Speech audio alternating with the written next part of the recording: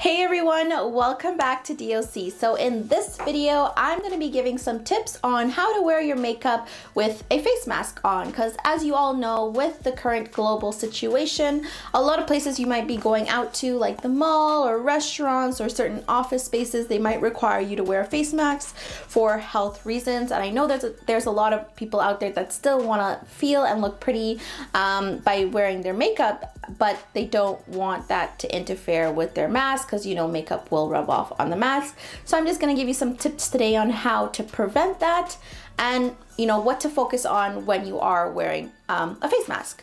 So what I would suggest starting off this whole routine with is a good moisturizer um, and something that is a little bit on the thicker side because you want to kind of create a barrier um, from your face um, to the skin the face mask just because the face mask is to be resting on your face all day and it's to be rubbing against your face all day.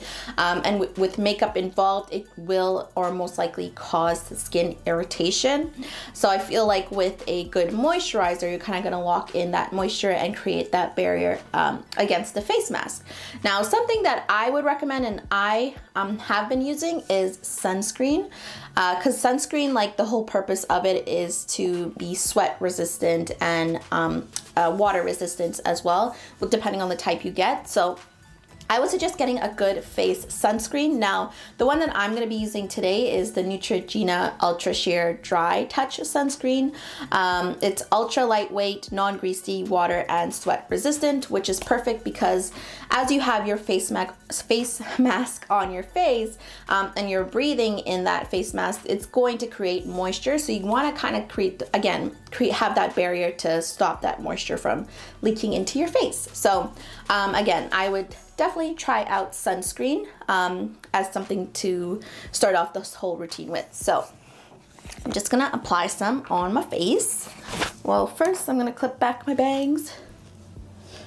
I had cut them a few weeks ago. Well, I had cut my own front bangs and um, I don't know, I'm indifferent about it, but anyways, it's growing out, so, and I'm kind of getting the use, getting used to side bangs, but yeah, I don't know. I don't know if I'm gonna do it again. All right, so you really want to stick to this these areas of your face as well? Because that's where the sunscreen that's where the face mask is going to be sitting.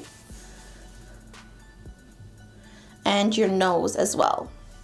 And also just generally um, I had used sunscreen as a makeup primer for a while just because it's a good primer and it, it protects your your face from the sun as it describes but it is a definitely a good primer to, to use um, in your general makeup routine as well. And it's something I would recommend for those who are you know outside working a lot and, and have to be in the sun so definitely recommend. So I have finished applying the sunscreen all over my face um, try to avoid the eye area because if you get it into your eyes, it will burn. And I did get a some in my eye, so it wasn't pretty.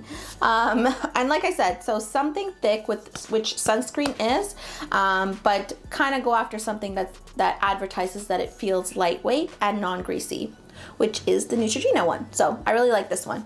Um, next, so what I kind of like to do as well with wearing um, wearing makeup with a mask is to constantly um, apply like apply a setting spray um, after each step just to lock in uh, what you did and to make sure it doesn't it's not movable and not transferable. So throughout this whole process I'm going to be using the Bare With Me Prime Set and Refresh setting spray. And you don't need to use a lot just a little spritz just to lock in that sunscreen Okay, so next is the foundation. Now, um, if you can avoid wearing foundation, that's something I would recommend, but I know this, the whole point is to wear your makeup. Um, so I would choose something very lightweight, um, nothing too heavy because again, even like, although you're, you're trying to, to make sure it's not transferable, a heavy foundation will most likely transfer onto the mask and it'll create a lot of irritation. So I would suggest sticking with something very lightweight and not a lot of foundation. You're just gonna go with a very natural uh, finish for the foundation. Um, and again, what I recommend is the Ordinary Serum Foundation. This is something I've been using, I always use, and it's like my favorite lightweight um, foundation and it's super buildable. So um, that's what I'm gonna be using today just because it's um, a lightweight formula. So I'm just gonna apply that very lightly all over my face. Okay, so I finished applying the foundation. Again, went with not a lot. I used literally maybe like one and a half pumps um, and I kind of spread it and um, spread that all over my face, creating very sheer finish. Um, and then before I'm gonna set that with the setting spray, I'm just gonna use my Laura Mercier um, setting powder. This is honestly, um, this is honestly one of the best um, setting powders um, I've ever used. So this is something I highly recommend to kind of set that foundation all over your face because it definitely will be locked in. Like um, this will keep it good. and I'm just gonna use like a smaller um, fluff brush so that I can kind of focus on the areas that the mask will be sitting um, and put, you know, a good bit of setting powder there. This is honestly, I would say one of the most important steps is the setting powder because this will truly make it um, not as transferable onto the mask. So you want to focus to where you the mask is going to be sitting, which is usually around this area and the nose. Just want to kind of pack it on too. And the bottom because that's where the mask is going to be sitting. I mean, you don't have to put foundation like this area because, I mean, not much people are gonna see that area because of the mask covering it. So you don't have to focus too much on the bottom of your face, but upwards, definitely. I sweat on my nose a lot, so I'm gonna focus on my nose a bit more and the rest of my face.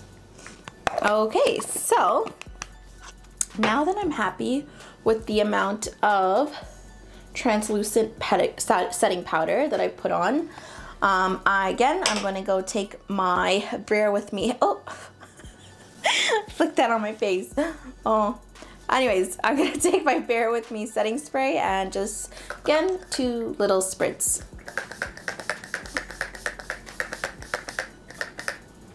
To lock that in. Okay, so next I'm going to be focusing on the eyes. I'm going to finish up the rest of my face um, after I'm done my eyes. Now, this is kind of the focal point when you are wearing a mask. This is what people are going to see. So you can choose to go as natural as you want or as ex ex extravagant as you want um, based on where you're going to or where you're headed out to. So um, I'm going to kind of give like a semi um, glam look with some eyeshadow and eyeliner, but nothing too glamorous. Um, now, I would suggest sticking with an eyeshadow that is a little bit shimmery, just to kind of give that pop on your eyelids, because again, that's what people are gonna be seeing. So I'm just gonna prime my eyes with a little bit of concealer first. And then I'm gonna take this NYX uh, Soft and Rosy um, eyeshadow palette that I have. It's super cute and I love the neutral tones because I'm kind of just going for something, um, again, semi-glam, so a little bit natural but pretty. Um, and I'm gonna be using this sparkly um, pink color here and probably this darker um, brown mauve color to kind of contrast that color. So, well, the mauve on the outer lids and then the sparkly on the inner lids. All right, so next, um, depending on how you're feeling and if you, um, on your eyelid shape as well, um, if you want to wear eyeliner, you can. If you don't, you can focus more on, you know, making your eyelashes pop. Um, I'm gonna wear some eyeliner just to create that extra oomph. And I'm just using a liquid eyeliner because it's quick and easy and I'm not doing anything like where requires me um, a lot of uh, precision. Just kind of creating a small line on my eyelids just again to add that little extra pop on the eyelids. Okay, so now that that's done, I didn't, again, I didn't do anything too extravagant. I didn't go with a, you know, a very um, high wing. I just kind of lined uh, just the top of my eyelids to make that pop, the eyelid pop. And next, I'm just gonna apply some mascara to finish off the eyes. I got eyelash, I got mascara on my eyelids. But there is a good trick. Just wait for it to dry. Take a um, take a dry or clean um, like eyelash uh, brush or mascara brush I mean and then gently rub it on top of the area that you got the mascara on and it'll go away. Okay, so now that I have my eyes done, I'm going to be focusing on the rest of my face. Um, just a light contour, um, blush, and highlight to kind of finish off the look. Now with the contour, you kind of want to kind of know where you're going to set your face mask, which I'm going to be setting right about here. So I'm going to be doing my contour a little bit higher than usual so that it's a little bit noticeable. Nothing like, I'm not gonna be doing it up here, but just a little bit higher than I usually do so that it creates some definition. Then I'm going to be taking a little bit of bronzer and applying that on the tops of my forehead to create a little bit more definition as well. Oh, my bangs are escaping. Okay, so the next um, important part um, to complete your face is the highlight. You're gonna kind of want to, I would say do a little bit more than you usually do. So if you go for a very natural, not a lot of highlight, I would just say step it up a little bit more just because people are to be focusing on this area of your face. So you kind of want to make it pop a little bit extra. I'm not saying go full highlight crazy, but just use a little bit more than you usually do.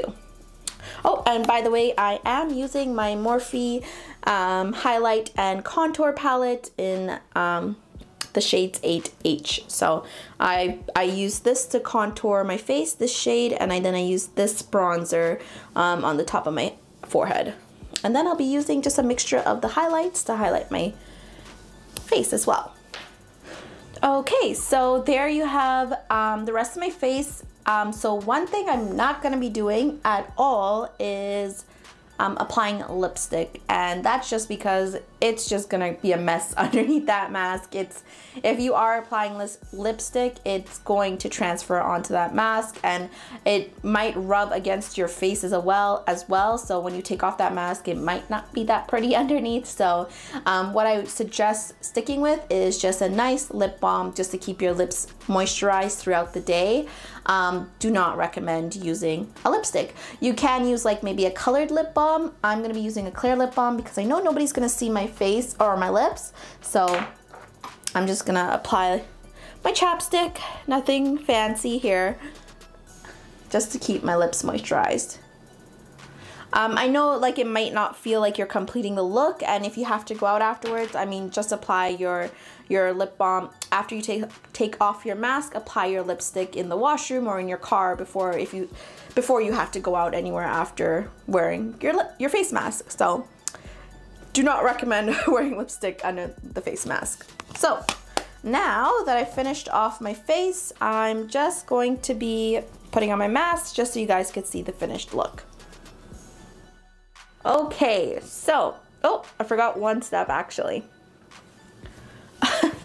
is my setting spray, which is the most important part. Um, you're going to want to use, so I'm not going to be using the, um, the NYX one that I've been using throughout my makeup process. I am going to be now using my All Nighter um, Urban Decay setting spray because this is amazing. It's long lasting and your makeup is not going to move. Um, so this is something I am going to recommend using um, just to finish off the whole look. So I'm just going to shake the bottle and put a little spritz. Okay, now back to the mask. um, all right, so put that on there and yeah, this is the finished look once again. sitting right on my nose area. So again, you wanna make sure you're packing on that translucent powder on these areas because It'll help with not making the, the makeup transfer onto the face mask as well as not causing skin irritation. And again, my eyes are the focal point, so you're gonna make them, you're gonna wanna make them really pop. You can, you know, even go more glamorous than I did, but I didn't really wanna go over the top today. And lastly, gonna reiterate, um, I can feel my lips touching the face mask. So again, do not wear lipstick or any type of um, thick lip um, stick or uh, lip gloss especially that's a, definitely a big no in my opinion because it's just going to create a big mess underneath there and it's going to transfer onto the face mask and then transfer back onto your face and it's just going to look horrible. So again don't wear it. Um, but yeah I mean it, I'm just going to take off this mask because I'm talking a lot and I can't breathe. Um, but yeah, so I mean, if any of you have any tips um, that I didn't mention that have really worked well for you with wearing makeup and a face mask, please leave them down below because I'm sure um, that anybody who who is wearing a face mask on a daily basis is going to appreciate these tips because let's face it, this is kind of like our new normal right now. So again, I would love to hear your tips down below.